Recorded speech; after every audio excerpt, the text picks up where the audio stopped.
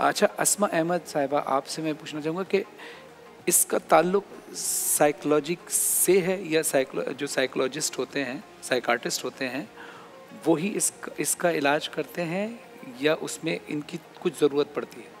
देखिए जैसे हम ऑटिज़म की बात करें तो जैसे हमें कुछ अलामत हम रेड फ्लैग्स की बात करते हैं कुछ ख़ास अलामत होती हैं अगर आपको किसी बच्चे के अंदर वो तीन से चार अलामात नज़र आ रही हैं तो फौरी तौर पे किसी पीडियाट्रिक न्यूरोलॉजिस्ट या क्लिनिकल साइकोलॉजिस्ट के पास जाना चाहिए ताकि बर वक्त तशखीस हो सके और बर वक्त हम उसकी मैनेजमेंट कर सकें और उसकी थेरेपी स्टार्ट हो जाए फौरी तौर पर तो अगर रेड फ्लैग्स की हम बात करें जैसे आप पूछ रहे थे कि ऑटिज़म है क्या तो उससे कुछ खास एक सवाल और लिखा भी रेड फ्लैग्स जो है वो क्या होता है तो ऑटिज़म के कुछ खास रेड फ्लैग्स होते हैं क्योंकि हम अभी अवेयरनेस की बात करें आगाही की बात करें तो लोगों को बताने के लिए बहुत ज़रूरी है कि ये रेड फ्लैग्स में से चार से पाँच कौन से हैं? सबसे पहली चीज़ है ये नज़रें नहीं मिलाते आई कांटेक्ट नहीं दे पाते। रेड फ्लैग्स को आपने किस तरह से एक, एक, एक, एक नाम दे दिया पॉइंट के जैसे पॉइंटर्स के तौर पे मैं बताऊँगी चार से पाँच रेड फ्लैग्स हैं यानी कि अलामात वो कौन सी अलामत हैं कि अगर आपको किसी एक बच्चे के अंदर चार से पाँच नज़र आ रही हैं तो आप फौरी तौर पे कह सकते हैं कि इस बच्चे को ऑटिज्म तो नहीं okay, है आप उसको फॉरन पीडियाट्रिक न्यूरोलॉजिस्ट या क्लिनिकल साइकोलॉजिस्ट के पास भेजेंगे ताकि उसकी तशखीस की जा सके। तो ये जो रेड फ्लैग्स हैं या अलामात हैं ये क्या क्या हैं? सबसे पहले तो ये है कि नज़रें नहीं मिला पाते। जैसे मैं और आप इस वक्त आई कॉन्टैक्ट दे रहे हैं हम्म, तो यूजली। इधर उधर देख रहे होंगे वो बॉर्डर नहीं करेंगे उनको आई कॉन्टैक्ट देना है सबसे पहली चीज़। दूसरा है नो रिस्पॉन्स नेम ये अगर आप इनको पुकारें अली इधर देखो तो ये पलट के नहीं देखेंगे। तो वालदेन को फ़ौरन शक पड़ता है कहीं ऐसा तो नहीं इसको सुनने का मसला है। तो उसका हेयरिंग टेस्ट होता है।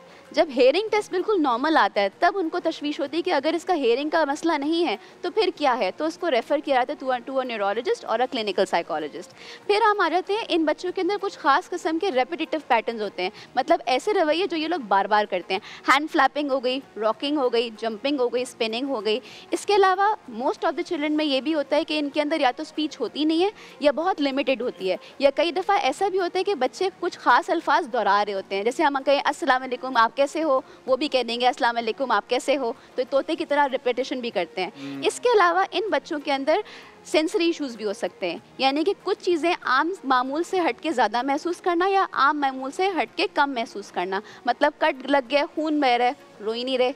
या किसी ने ज़रा सा भी हाथ लगा दिया तो फ़ौरन कंधा पीछे कर दिया। तो इसको हम कहते हैं कि इनके अंदर सेंस अच्छा इस तरह की चीज़ मैंने एक नज़र से एक एक क्लिप गुजरा था इंटरनेट पर। गालिबा वो शाहरुख खान का था जिसमें वो एक हाथ से वो बार बार यूँ कर रहे होते हैं और आँख आँखों से नज़र नहीं मिला रहे होते हैं ना? Correct that is my name is Khan जैसे आपने तारे ज़मीन पर के अभी अभी मेंशन किया जी, जी. तो माय नेम इज़ खान में उसको शाहरुख खान को जो उन्होंने प्रॉब्लम दिखाई है दैट इज़ एस्पर्जर सिंड्रोम तो वो ऑटिज्म को हम कहते हैं एक स्पेक्ट्रम ऑफ़ डिसऑर्डर है. तो high functioning mild moderate severe तो जो हाई फंक्शनिंग साइड है वो होता है एस्पर्जर सिंड्रोम इनकी सोशलाइजेशन और लैंग्वेज तो अफेक्टेड होती है लेकिन इनके बिहेवियर इश्यूज़ वगैरह नहीं होते इतने ज़्यादा। ओके जी तो वो जो विजुअल वो जो आँखों का आप बता रहे हैं वो विजुअल स्टिमिंग कहलाती है। मतलब ये बच्चे अपने आप को रेगुलेट करने के लिए कुछ खास एंगल से लाइट्स को देख रहे होते हैं चीज़ों को गिरते हुए देख रहे होते हैं या इन्जॉय कर रहे होते हैं इस चीज़ को ताकि अपने आप को मामूल के मुताबिक लेके आ सकें रेगुलेट कर सकें। अच्छा एक बच्चा है वो मैं अक्सर वो लाहौर में मिलता भी था और वो इसी तरह की बातें करते उसके लफ्ज़ क्लियर नहीं होते थे।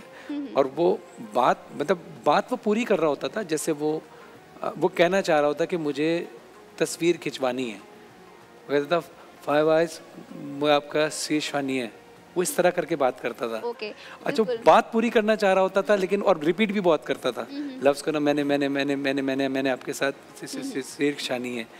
वो कहना चाह रहा होता था जज्बात के साथ लेकिन वो तो ये भी उसी इसका हिस्सा आ, ये चीज़ थोड़ी मुख्तलिफ़ है। इनको हम कहते हैं कि ये लैंग्वेज या स्पीच प्रॉब्लम्स हैं। इसको हम हकलाहट का मसला कह सकते हैं या अल्फाज की अदायगी का मसला। जो आपने पहले कहा कि वो अल्फाज सही तरह अदा नहीं कर पा रहा हम्म। वो होता है अल्फाज की अदायगी का मसला जिसको हम आर्टिकुलेशन प्रॉब्लम कहते हैं। और जो दूसरा आपने कहा कि वो जो अटक रहा होता है असमा जैसे अगर कहना है तो इसका मतलब है कि उसको स्टैमरिंग है यानी कि हकलाहट का मसला है। तो वो थोड़ा हटके ऑटिज्म में ये क्या है कि ये बच्चे अपनी दुनिया में गुम होते हैं सेल्फ एब्जॉर्ब होते कुछ हैं। कुछ बच्चे ऐसे होते हैं जिनको हम नॉर्मल एबनॉर्मल सा समझ रहे होते हैं दुनिया में लेकिन वो बड़ी बड़ी वो जैसे मिसाल के तौर पर हमारे महल्ले में एक बच्चा है बड़ा मशहूर है वो मार्टन रोड में शानी हम्म। तो वो वैसे लगता है कि वो एबनॉर्मल है लेकिन उसको सेंसेस सारे हैं। यानी एक वो दोस्तों के साथ खड़ा है और उसके वालिद साहब अचानक आ गए तो वो एकदम से खामोश होगा अबू आ रहे हैं अबू आ रहे हैं अबू आ रहे हैं। हम्म। बोलता वो इस तरह से हम्म। तेज तेज करके ना हम्म, गाड़ी आती है तो वो सब पहचानता सबको है वो। और उसको सब पता है कि ये चीज़ खाने की है और ये खाने की नहीं है। लेकिन वो दिख यानी ऐसे बच्चों को काउंसलिंग करें तो ठीक हो जाते हैं ऐसे बच्चे? अब जैसे आपने भी बात की तो यूजुअली जब हम ऑटिज्म की बात करते हैं तो इन बच्चों के अंदर बहुत गैर मामूली सलाहियतें छुपी हुई होती हैं। तो ये बहुत बेहतर हो सकता है